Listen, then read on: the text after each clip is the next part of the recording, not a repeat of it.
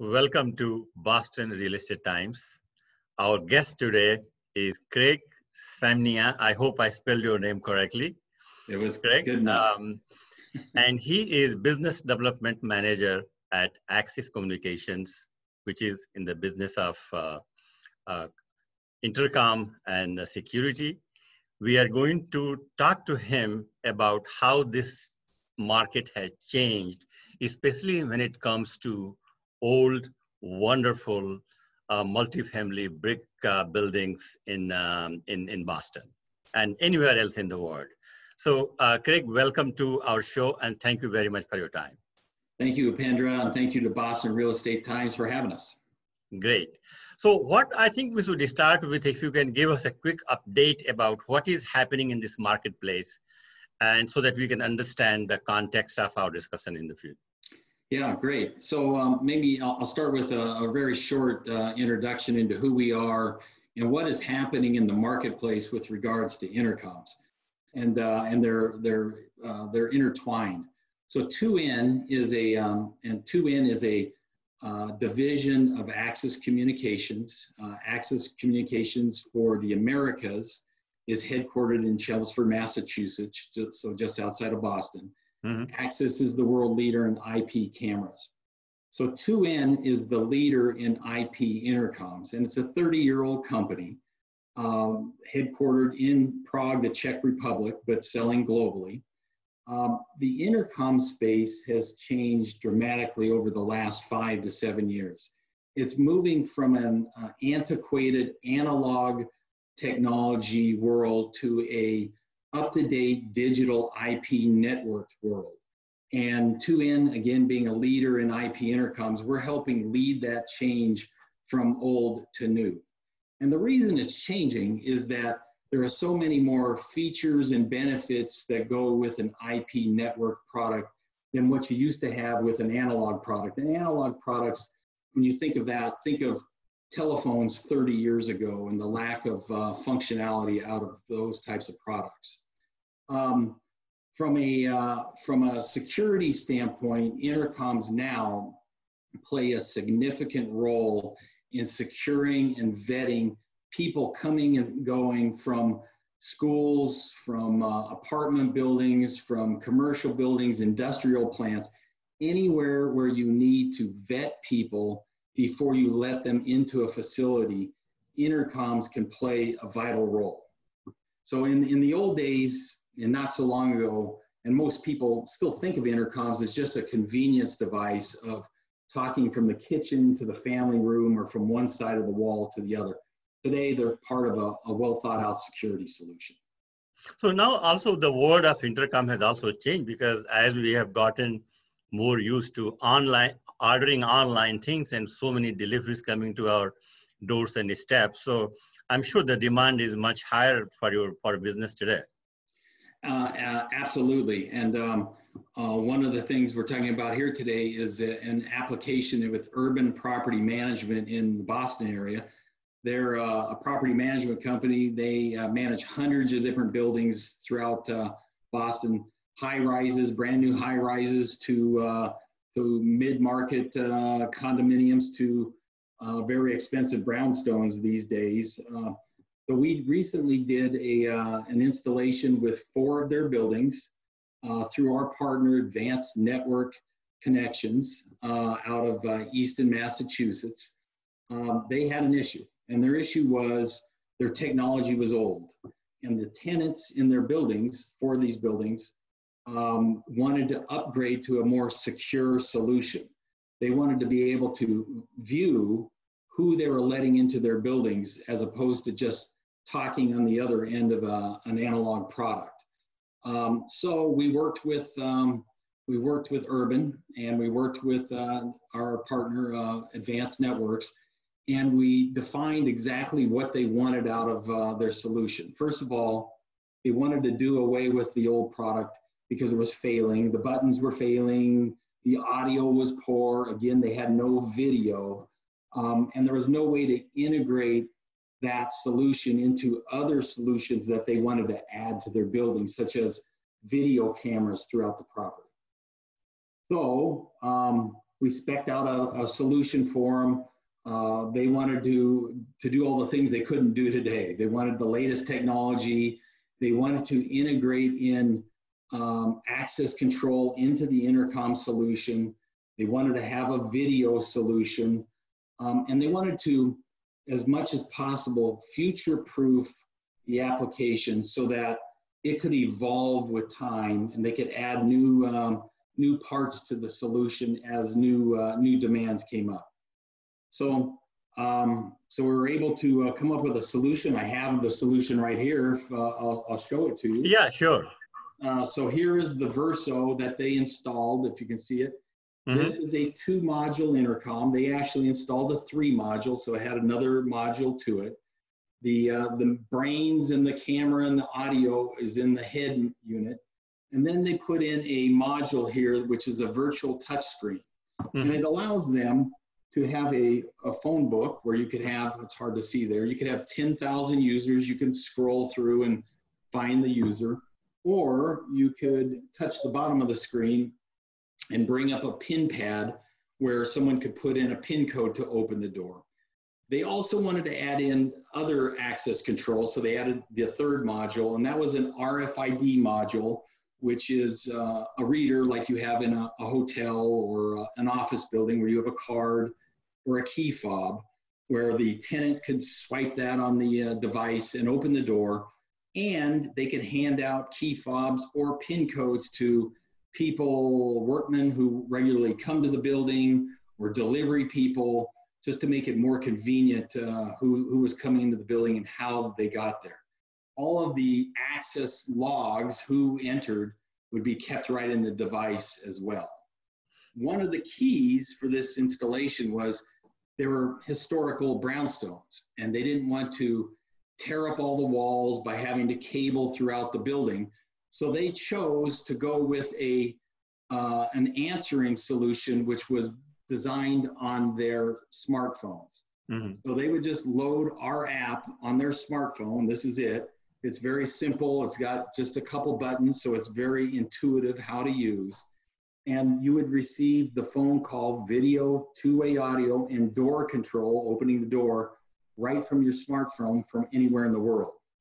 This so same, now, yep. uh, Craig, my, my, my question to you is that, uh, sure, and, and that's why when you were talking about these brown stones, I was wondering, say, for example, if you go at the Beacon Hill today in, in Boston, and you have all these beautiful buildings, multifamily, also some office buildings. And so my question is immediately going to be that, do you have to dig some holes and wiring and all those things? You don't need any of those things. You can you skip them completely. Yep, it makes it very simple. If by installing this, all they needed to do was run power to it and one PoE cable to the unit. We do, however, if you can't uh, run a PoE cable to the front door, we have an LTE version, a cellular version of that. Mm. So all you need is 12 volt power, which is available everywhere. So you would have you would run no cabling in that time. For their installation, again, they went with the mobile uh, app uh, and there was no cabling to the apartments. Now, many people will install a fixed answering device, which I have here. This would be mounted in the apartments themselves. You could do it through Wi-Fi or through a uh, Cat5 PoE cable, mm. either way. And that could be your fixed answering uh, device and then have a mobile device as well, or, or one or the other. So, uh, so now this is a perfect um, a fit for you know the multifamily and you know other type of living facilities. Uh, do you also use the same technology for the commercial buildings? Yeah, um, uh, great question. We have we have seven different families of intercoms. Uh, so we have a solution for any application in the intercom space. The Verso, which I just showed you, is great for office buildings because it has the virtual touchscreen you can scroll through by uh, by uh, uh, bill um, uh, company inside of the uh, the high rise, and then people. You could seg segment the uh, the database base that way. Um, but we have other products too. Um, so we have ruggedized products, such as in the MD in an MDU high rise, commercial or apartment. you'll have many different applications for intercoms. The front and back door are obvious but there's also a common area, say for the pool area, where maybe you only want to have access control. Or in the parking garage, at the gate to open the gate, you want to have an intercom there. It has different needs. It needs to be super ruggedized. Maybe you want to incorporate in Bluetooth. So as you approach the gate in your car, it'll automatically open the gate up. There's emergency call boxes that could be set up in the parking garage or around the, uh, uh, the, the premise. So all kinds of different applications for commercial and education as well as uh, MDU apartments. Uh, can you also integrate some uh, security apps or how, how, how does this work with a building security system? Yeah, great, great. So um, all of our platforms are built on open integration, which means we adhere to all the industry standards um, so that we integrate with all the third, uh, third party applications that are out there. If it's a security panel or if it's an access control system or a VMS, a video management system, or even the telephony system, the phone system in the building, will integrate seamlessly with all, all of those. And that we find that is one of the, the critical points. Um, there's a lot of manufacturers out there that don't do that, but in the end, the end user, the building manager, they really want to have one solution for their building, or they want to have multiple solutions that all talk to one another. And that's, we're able to achieve that. Okay. So we talked about uh, multifamily, we talked about uh, the office uh, context. What about if you look at some large, big manufacturing facilities or industrial um, uh, buildings so big retail giant um, uh, storage facilities?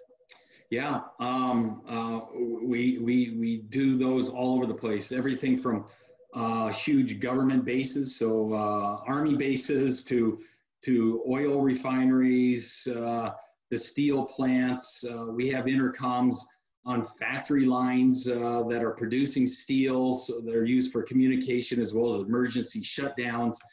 Uh, you can, the programmability in a networked device is really unlimited. Taking it back to the MDU uh, situation here, something you can program into our intercoms is emotion and, uh, and voice detection. So if there's a lot of loud noise, say at 1 a.m. Uh, outside the door, you can turn, you can have it programmed to send an alarm, send an email, to turn on lights, to uh, send a message out to, to get the people away from the building. All kinds of things can be done uh, again with today's. Uh, so my, my, next question is, uh, uh, Craig, is say if you are in a very high density uh, urban setting and your system is outside there's a lot of you know cars passing by there's a lot of traffic. So how does how good quality of the sound you have? Yeah it's a it's a critical feature um, because the basic uh, features of the intercoms are to communicate. So we've uh, we've engineered that into all of our devices. We have noise cancellation we have echo cancellation we have uh, the speaker uh, volume is set and can be programmed at, at different uh, values. So we have these, uh, these uh, intercoms installed in urban settings, in rural settings. We have them at truck gates where big 18 wheelers are pulling up and it's super loud. So, um, so we, again, we have, uh, we have it built into the technology and we have different models to, uh, to take care of any need that you're going to run into. Okay. Now, Craig, my last question is that as you know, that technology is changing so rapidly in every sector, every area you can you can think of. How adaptable is your um, uh, technology for the future growth and uh, evolution? Yeah, uh, it, it's a great question. It's one that comes up often because uh, uh, there's a big in investment when putting in a, a, system like this, and they want to end users and uh, building managers they want to ensure that their investment's going to last into the future. So we've designed our product uh, a couplefold. One, as I mentioned earlier, we're open. We integrate with all the third-party solutions out there, and we adhere to all the industry standards. So as new solutions come up that want to be integrated into the building, we will integrate into that uh, to that solution now and into the future. On our Verso, as an example, it's a modular product. So people, we find uh, uh, install the Verso with, with the functionality they need today, with the modules they need. but in the future, it's changed. Their, their, their needs change, and they have the ability to simply change out the modules, add more modules if they wish, and then change the functionality to meet the, the new needs that they have. So um, as much as something can be uh, future-proofed, uh, uh, we think we've uh, achieved that with, uh, with our product line. Okay. Now, before I let you go, can you also talk a little bit about, about uh, the cost, the price of your products? Yeah, um, um, and, and they're all published. Our MSRPs are published. We are, uh, I would say, we are very competitive from a hardware standpoint. We're not the cheapest in the market, we're not the most expensive. But when you look at the total cost for that specific installation, you have to look at the hardware cost, you have to look at the installation cost, and then the maintenance. We have the highest quality of any manufacturer in the industry, so the maintenance ex is extremely low our installation costs are the lowest in the industry because it's super simple. It's one cable, PoE, plug and play, and you're good to go. And then again, our, our hardware cost is very competitive. So the overall cost of the installation is among the lowest in the industry. Can you put a number there? Or? Yeah, sure. Uh, I mean, uh, for this uh, for this type of installation right here, um, with the uh, virtual touch screen and the Verso and the frame and all that, MSRP, you're talking about $1,600, something along those lines. Okay. And what about the installation fee plus instant? Yeah, it, it varies. I, I, would leave that up to my our partners, the advanced network connections. Um, but um, um, so I, I, would check with uh, I, one of the one of the best practices going forward. I would say is make sure you find a partner, an integration partner that knows this area, knows this technology. If you do, that'll save yourself time, money, and headache going forward. Okay. So now, for example, if I install this your product in, in, in one multifamily, how many units can be connected with that? Uh, unlimited amount. Unlimited yep. amount. Unlimited amount. Yeah. Okay. Uh, Craig, thank you very much for your time, and it was a pleasure talking to you. Great, great, great. Thank you very much. Great being here. Excellent. Perfect.